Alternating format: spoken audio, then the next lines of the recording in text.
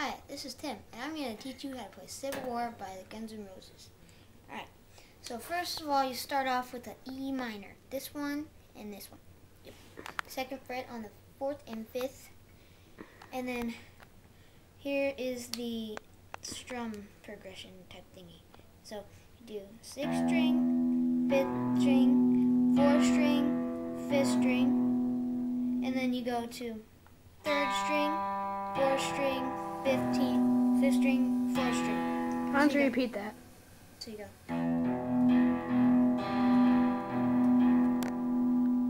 See that? And then you do a little hammer on, like that, and then you slide to here. It's like the start of a G chord, just without the last finger. And then you go. Same, same strum progression.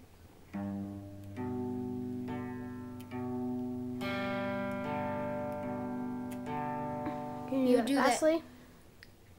Pretty fast. I mean, like the song.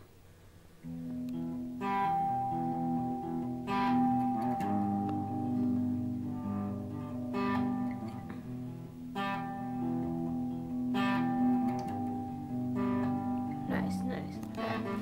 Carry on. And then, so you do each one of those twice, and then you go back to the E minor, then like this one, and then go back to this one, and remember you're doing every one twice, except for the last one. You're doing just this finger right here, and you're doing this one, and then you're going like this.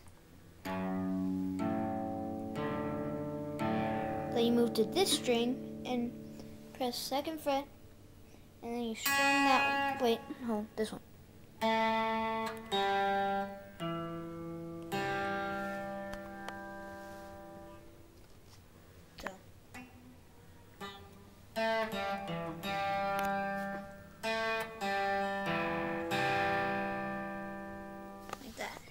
So, thanks for watching. Please subscribe. That was Guns N' Roses Civil War.